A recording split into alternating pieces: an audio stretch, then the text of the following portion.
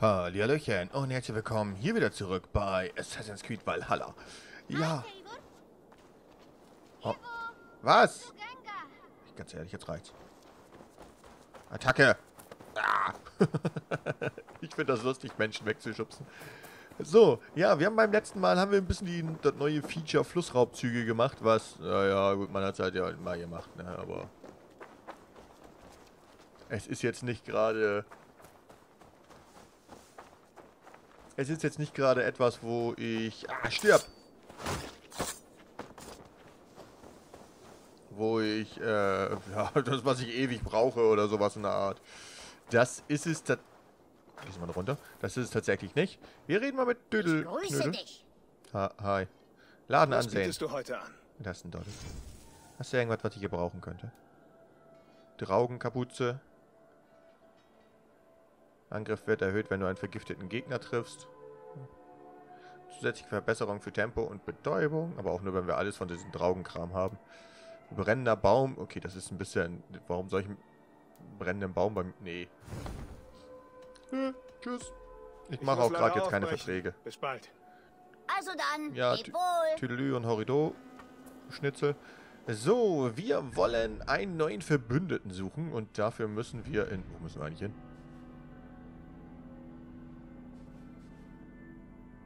Da? Ne, das ist ein Foto. Toll. Äh. Wo muss ich gar nicht hin? Okay, warte, wir haben Quest.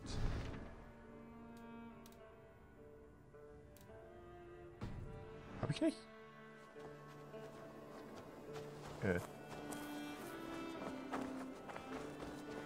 Stimmt, ich habe glaube ich noch gar nicht neu ausgewählt, ne? Ich glaube, ich habe gar nicht neu ausgewählt, fällt mir gerade uff. Gerade uff fällt mir das.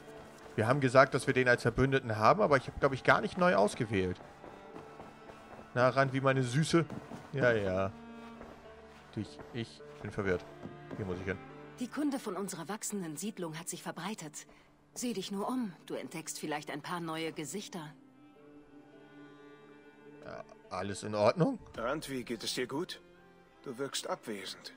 Mir geht es gut. Nur etwas müde, aber das macht nichts. Sollen wir uns die Karte ansehen? Nicht, ehe du mir sagst, was dich bedrückt. Ich glaube, ich habe...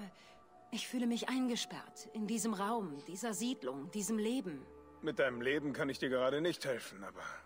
Ich kann dich aus diesem Raum holen. Was meinst du? Ich weiß nicht. Es gibt noch so viel zu tun. Hör auf. Vergiss all die Bündnisse und Verantwortung. Nur für ein paar Stunden. Wir könnten ausreiten. Nach Grantabrück oder woanders hin. Mal was anderes sehen. Das klingt wunderbar. Und zu weit weg, um es gerade in Betracht zu ziehen. Aber danke, Eivor. Ein anderes Mal vielleicht. Also, was brauchst du? Gehen wir nach Grantabrück. Gönn dir eine Pause, Handwi. Brechen wir nach Grantabrück Ski auf und holen dich aus diesem muffigen Raum raus. Meinst du etwa jetzt? Sofort? Natürlich. Du sagtest, du wärst all dessen müde, also warum nicht? Füll deine Lungen und gönn dir etwas Bewegung. Das sagte ich, nicht wahr? Du hast recht. Geh voran, Eivor. Siehste, außerdem wärst du fetter, du musst dich bewegen. So, bringe Randvi nach Geranterbrück. Naja, gut, dann. Heute nehmen wir nicht das Langschiff. Wir machen einen Ausflug zu zweit. Ist das ein Problem? Keineswegs. Solange der Wind mich umweht und die Sonne mich kitzelt. Ich verbringe viel zu viel Zeit im Langhaus. Wir werden diesen Fluss überqueren müssen, um nach Grantabrück Schier zu gelangen. Falls du einen besseren Weg kennst, lass nur hören. Schwimmen steht nicht zur Auswahl? Schwimmen? Ich weiß nicht. Ist das ein Scherz? Ein Boot oder ein Pferd gehen auch, aber ich habe auch nichts gegen die gute alte Art. Nein, wir reiten. Was bist denn du jetzt schon so rollig, Alter? Meine Güte. Was machst du mit den Händen? Wo genau hältst du dich fest? Die versucht mitzureiten. Na, Pferd. Das ist dir ein bisschen zu anstrengend mit der Fetten hinten drauf, wa? Jetzt rennt er. Jetzt gib alles. Er hat mich verlaufen, Randweh.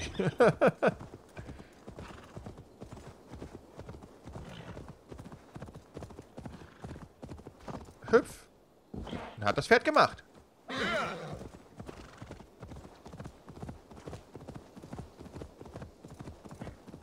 Hüpf. Ach, blödes Pferd. So. Hier ist es wirklich schön. Ich war noch nie so weit östlich der Siedlung. Ist das nicht furchtbar? Das. Hältst du Sicherheit für furchtbar? Tag um Tag so eingepfercht zu sein und die Geschichten von dir und deinen Kundschaftern zu hören, ohne es je selbst zu sehen. Bei den Göttern riechst du das? Die Erde, die Luft. Es ist so schön hier draußen. Ach Mensch, ja, irgendwie tut es mir schon ein bisschen leid. So, du wolltest. Dieses Wasser riecht seltsam. Man gewöhnt sich daran. Ich hoffe, das muss ich nicht. Die wollte schwimmen. Ich bin ein super Typ.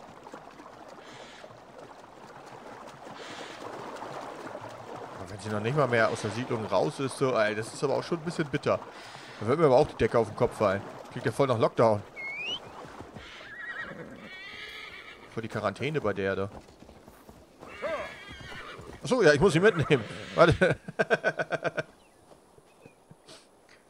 Komm, steig. Ich hab sie vergessen. ah, schön.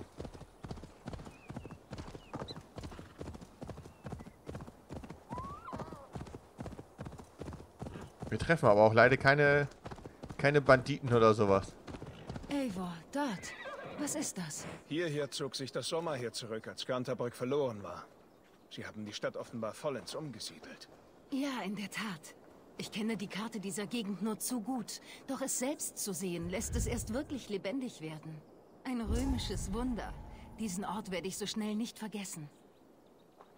Das ist schön. Ich wollte aber gucken, ob wir irgendjemanden töten können. Für dich. Das ist ja nur eine Vogelscheuche. Der da zum Beispiel. Hi! Wer sind Sie? Darf ich... Darf, darf ich Sie abstechen? Ach komm. Für Sie. Guck mal. Ja, romantisch, oder? Oh. Na dann. Hm, hat sie nicht so romantisch. Aber die Pferde, die sind verliebt. Naja, wenigstens welche. Da dachte ich, ganz romantischen Typen abstechen, weißt du? Na komm. Bewegung tut dir gut.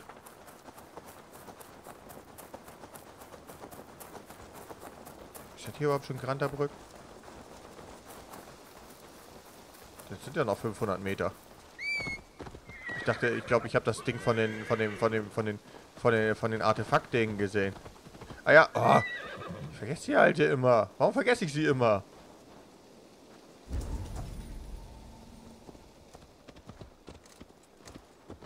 Ja, scheiß auf das Artefakt jetzt gerade, oder? Weil es verdammt nah ist. Ach, das ist nur so ein Blatt Papier, was herumflinsert. Scheiß auf Blatt Papier, was herumflinsert.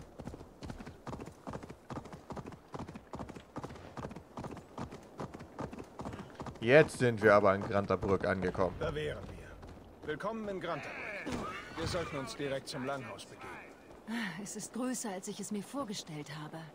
Urig, holzig, wunderschön. Und alles sieht so neu aus. Unter Somas Führung hat das Sommerheer dieses kleine Dorf zu einer großen Stadt wachsen lassen. Sie brauchten einen Handelsknoten nahe Lunden und sie wollten einen Ausgangspunkt für Überfälle in Westsexe bauen. Wirklich beeindruckend. Und es gibt ein paar außergewöhnliche Bauwerke. Wenn du das sagst. Wenn du das sagst, wird es ja wohl auch so sein, wa?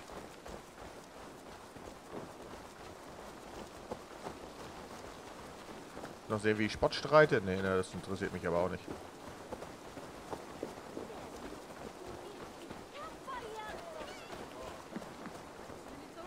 So, mal. Bock auf einen Dreier? Ich hab jemanden mit. Sieh mal eine an, wenn das nicht Eivor ist. Kenn ich dich? Ich habe gerade keine Ahnung, wer das... Ich dachte gerade, wer leuchtet da blau, aber das ist die es alte. ist lange her, seit du das letzte Mal hier gewesen Wer bist. bist du? Ich kenne dich. Du bist einer von Somas Getreuen. Magni, nicht wahr? Ja, genau der bin ich. Schön, dich wiederzusehen. Das ist Randvi, eine gute Freundin und standhafte Kämpferin. Sei gegrüßt, Randvi. Eivor hat offenbar die Gabe, sich mit wunderschönen Frauen anzufreunden. Nun ja, das ist mir ebenfalls aufgefallen. Ich hätte hier mehr Menschen erwartet, Magni. Ist etwas vorgefallen? Soma ist mit einigen unserer Krieger gen Westen gezogen. Sie erhofft sich davon einen neuen Handelsweg nach Oxenafort. Doch nun, in diesen schwierigen Zeiten, musste ich erkennen, dass ich nicht der Stellvertreter bin, der ich zu sein hoffte. Schwierige Zeiten? Oh, eine Räuberhorde hat sich in der Nähe eingenistet, östlich von hier, direkt am Ufer. Sie greifen sämtliche Händler an, die über den Fluss oder die Straße zu uns kommen. Es hat sich schnell herumgesprochen und die Händler bleiben fern. Das könnte die Stadt zugrunde richten, wenn es zu lange andauert. Mich hat es bereits erwischt. Diese Hunde haben gestern mein Pferd gestohlen. Äh, dafür haben wir keine Zeit. Wir helfen Und gern. was willst Wir du? kümmern uns um sie, Magni. Und wenn wir dein Pferd nicht finden, stehlen wir dir eben ein neues. Was für eine Erleichterung. Ich selbst kann euch keine Belohnung anbieten, aber die Räuber sicher schon. Nehmt euch von ihnen, was ihr könnt. Gut, betrachte das als erledigt. Eivor, komm. Wir müssen ein Lager plündern. Na gut. Da bin ich ziemlich einfach, Alter. Die Unfreundlich von der Die Frau. Räuber haben ihr Lager unten am Fluss aufgeschlagen, am östlichen Ufer. Du hast uns in den Kampf geschickt, Randvi. Ist das deine Vorstellung eines gemütlichen Landausflugs? Offenbar schon. Ich bin selbst überrascht. Kaum stehst du mal einen Tag nicht am Kartentisch und schon schwelt in dir der Blutdurst. Ein Gefühl, das dir wohl bekannt sein dürfte, nicht wahr? Ich wollte schon immer die Welt erkunden, wie du. Jetzt tue ich es. Es sei denn, du hast etwas Aufregenderes für uns geplant. Wir helfen Magni und beseitigen diese Räuber. Doch wir dürfen nichts überstürzen. Der Rabenclan braucht eine ruhige Hand. Ja, aber selbstverständlich. Ich werde deine Befehle genauestens befolgen. Wenn ich es nicht besser wüsste, würde ich sagen, du verspottest mich. Nicht im geringsten, Eivor Wolfsmal, Drengar mit eiserner Faust. Ich würde nie jemanden mit solch imposanter Führungskraft verspotten. Oh mein Gott. Dort, das Räuberlager. Nun gut, bleib dicht bei mir. Genau. Tu, was ich tue. Ich soll ernst zum Horizont starren? Ich bitte darum. Tu, was ich tue. Aim.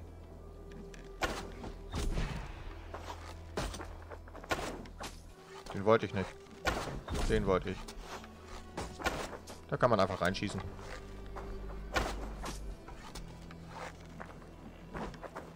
Der wird schon mit großen Steinen, was?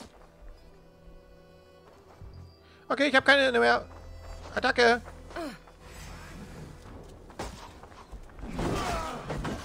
Wir wollten uns hineinschleichen. Du sahst so kampfeshungrig aus. Also, schlag zu.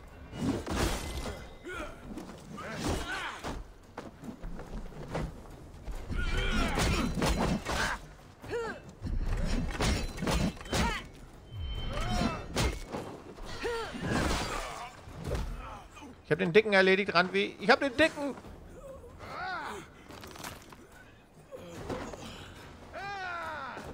Ich den Dicken auch angeschrien.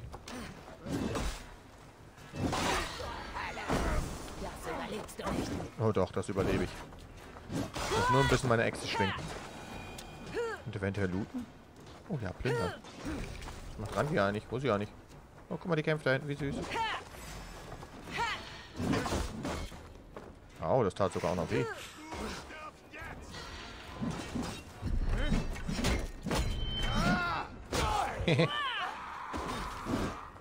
Alter, das ist eine Frau. Ja, gib ihr noch mal einen mit einem Hammer drauf. Gut, das wäre erledigt. Bringen wir Magni sein Pferd. Aber hier ist ein Lesenzettel. Tagebuch eines Räubers. Wieder eine Nacht, die uns reiche Beute beschert hat. Dieser Mal, diesmal haben wir ein paar merzische Soldaten aus Legrazreska überfallen. Burgrits Jungs äh, gut ausgerüstet. Äh, wir haben ihnen alles abgenommen. Ihr Schwert, Helm. Ich habe sogar eine neue Hose. Hinebord hat sie nicht gepasst. Äh, es gefällt mir hier langsam richtig gut. Viel Frischfleisch, das auf dem Weg nach Kranterbrück hier entlang klupsert.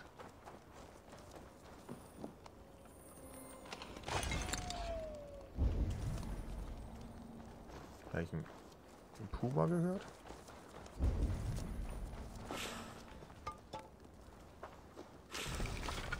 Blut, Blut. Hm, Tor verleiht mir Kraft. Nee, das war der Pilz.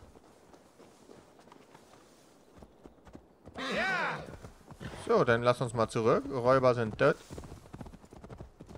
Tja, Diebstahl lohnt sich nicht.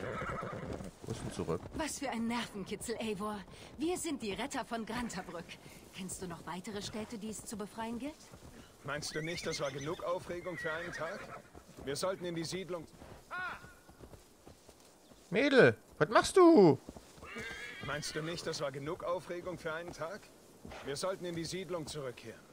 Oder wir trinken noch etwas. Zur Feier unseres Sieges. Zu Hause. Thekla hat mehr Met und Ale, als wir je runterkriegen. Eivor, unser Ausflug hat gerade erst begonnen. Such uns ein Alehaus, in dem wir uns niederlassen können. Bringen wir zuerst das Pferd zurück. Und falls dein Durst anhält, sehen wir uns um. Oh, ist die anstrengend. Kein Wunder, dass die immer ohne sie unterwegs ist. du.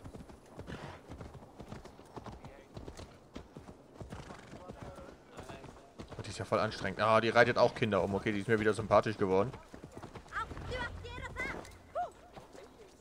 So steigt man übrigens ab. Siehst du, mach gleich Action. Ja, Entschuldigung. Aus dem Weg. Magni, wir haben dein Räuberproblem gelöst. Habt ihr das? Gut gemacht. Konntet ihr mein treues Ross wiederfinden?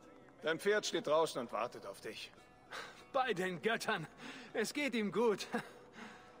Danke, Eivor. Und auch deiner Freundin Randvi. Wo auch immer sie steckt. Sie muss hier irgendwo sein. Eivor, hier drüben. Sieh dir das an. Ist da jemand durstig? Du willst dich wohl unbedingt besaufen, was? Ich will dich besoffen machen. Komm. Oder hast du Angst, dass ich mehr vertrage? Um ehrlich zu sein, ein wenig. Ich habe Pfeile gefunden. Worauf willst du hinaus? Einen Trinkwettbewerb. Du gegen mich, Wolfsmal gegen Tischmarkt. Randvi, uns fällt etwas Besseres ein als Tischmarkt. Dann Metkönigin. Nein, lieber Ich nicht. brauche einen klaren Kopf. Schade, denn wir gehen erst, wenn du die Herausforderung annimmst. Wer bist du? Komm schon, was Gott. sagst du? Ja, Also gut, trinken wir. Wunderbar. ich weiß gar nicht mehr, wie das geht. Ehrlich, ich habe keinen Plan mehr. Ah, so geht das, okay. Ich bin nicht so gut in Schlucken, aber die, die Randvi hat scheinbar drauf.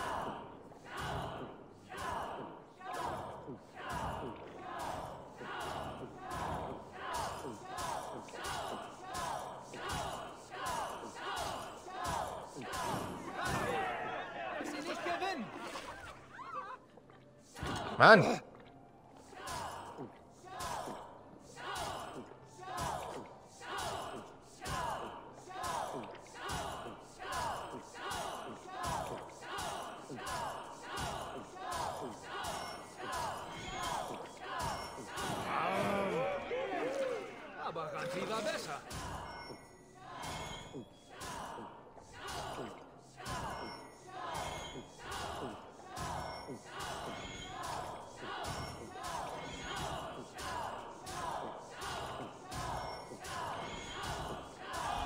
Abgesoffen, Alter!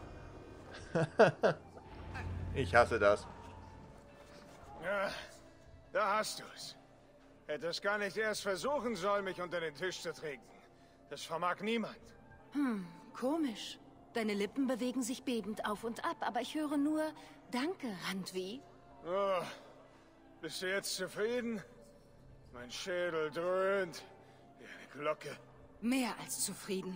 Komm jetzt, wir reiten heim und lassen die frische Luft den Nebel aus unseren Köpfen wehen. Nach nur einem weiteren Halt. Oh, Randvi. Da ist dieser versunkene Turm bei einem Wasserfall nahe der Siedlung. Wir halten kurz an, dann bist du mich los. Er ist nahe des Gipfels eines Hügels im Süden der Siedlung. Leicht zu finden, schätze ich. Also gut, ein letzter Halt. Ich weiß, man sieht es kaum, Eivor, aber ich bin schon sehr aufgeregt. Man sieht es. Ihr wollt schon gehen? Nun, ich Ja, hoffe, unsere Gott. Wege kreuzen sich erneut. Nee, hoffe ich nicht. Randvi, komm jederzeit wieder. Vielleicht muss ich das, Magni. Danke für die Gastfreundschaft.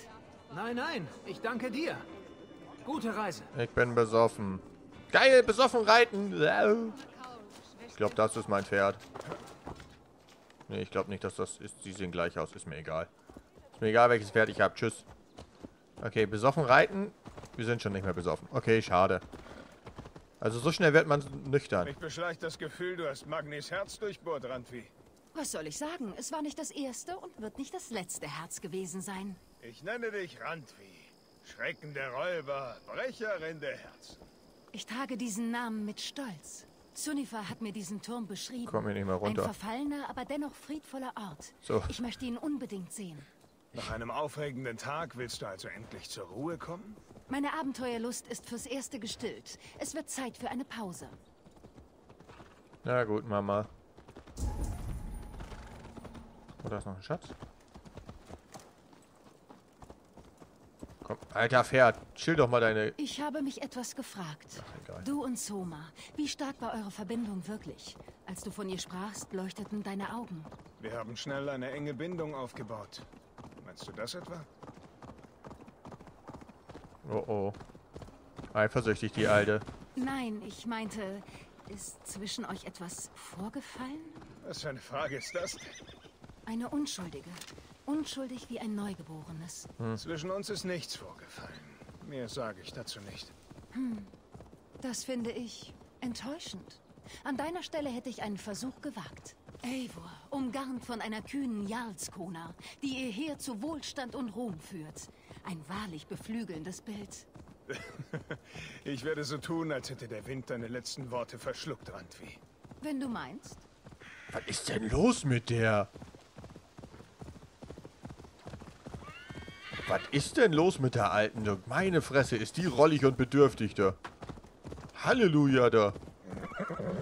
Da kann mein Pferd schon gar nicht mehr.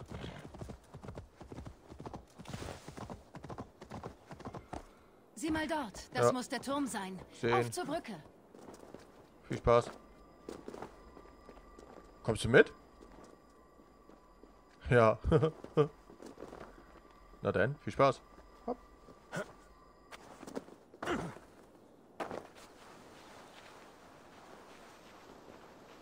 Verdammt, die geht auch noch intelligent vor. Schade.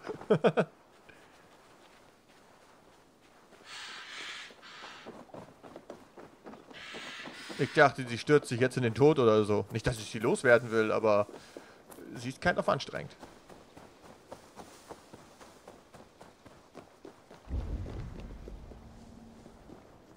Keine Zeit. Schnauze. Weil das ist echt bedürftig.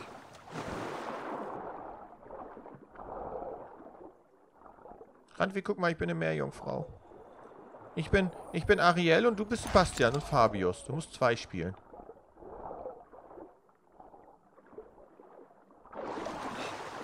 Irgendwas wird auch noch hinterm Wasserfall sein. Oh, ich glaube diesmal sogar nicht, wa? Oh, voll bitter. Als ob nichts hinterm Wasserfall ist.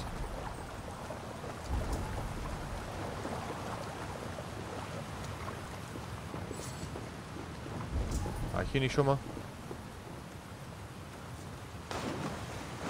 Randvi, ich habe das Gefühl, dass ich hier schon mal war.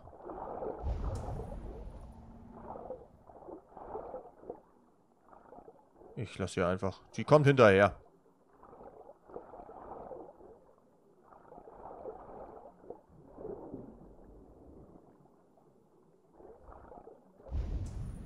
Ich glaube aber, wir waren hier schon mal.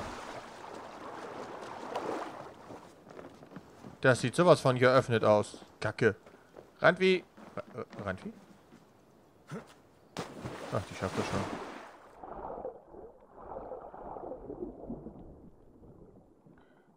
Die will halt nicht Abenteuer erleben.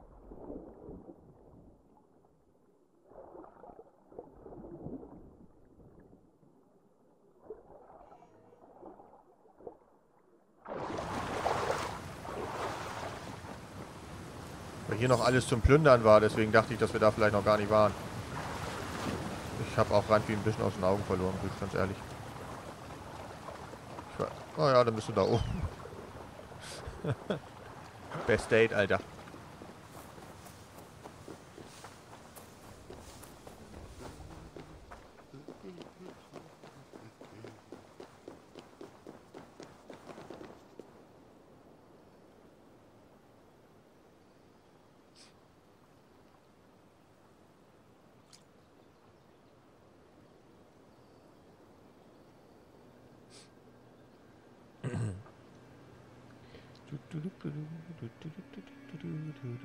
Da kommt sie!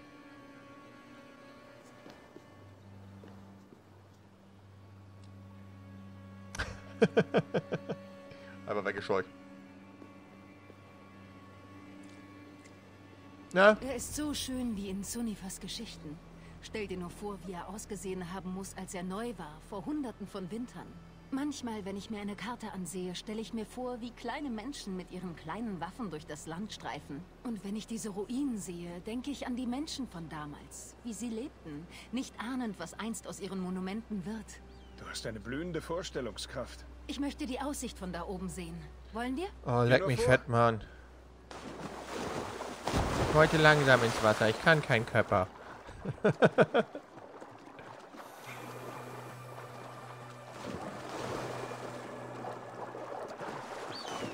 Na los! Pass auf, wo du hingreifst. Diese Steine sind alt und verwittert. Also genauso wie du. Ich kann Dates. Ich bin super im Daten. Du kletterst gut für jemanden, der Karten faltet. Wohl kaum. Aber ich habe schon so manches Langhaus errichtet und viele Langschiffspanten vernagelt. Meine Hände sind für harte Arbeit gemacht. War das eine Anmache? Ich hoffe es. Klang gut.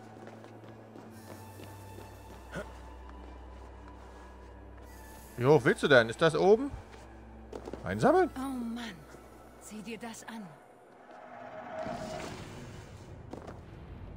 Hab ich das gerade gefunden?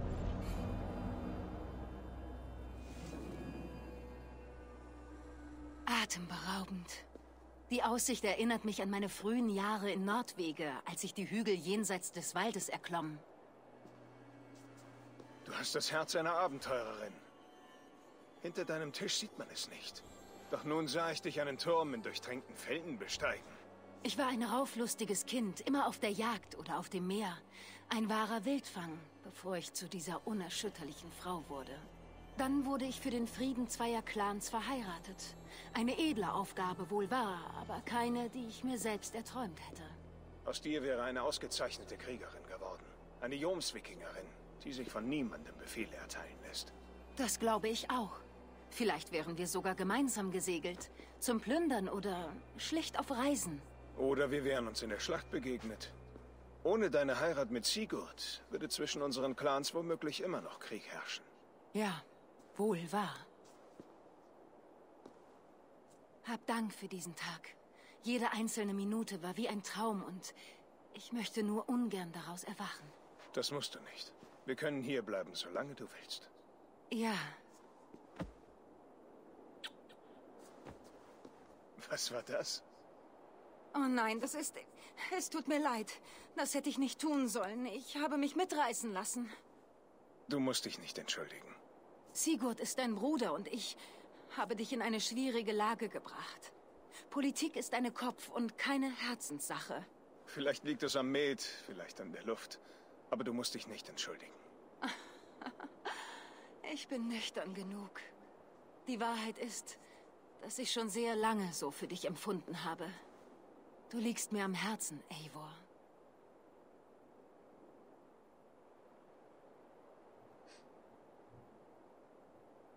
Das ist tröstlich zu hören. Ich fühle seit langer Zeit dasselbe. Ich habe nicht geglaubt, dass du meine Gefühle je erwidern könntest. Ich wollte es dir schon so oft sagen, dir mein Herz ausschütten, dir all meine Wünsche offenbaren. Doch die Pflicht hielt mich immer davon ab. Sag, was du willst. Dieser Tag hat mir viel bedeutet. Wir ritten, kämpften, tranken und lachten. Du zeigtest mir deine Welt, nicht mit Worten, sondern mit Taten. Taten sind viel bedeutsamer als Worte. Oh ja, das sind sie. Was? Ob das so eine gute Idee ist, ist mir völlig egal. Ich darf ran, also ist alles gut. Was? Meine Güte, die ganze Nacht? Du Berserker, Alter. Randvi?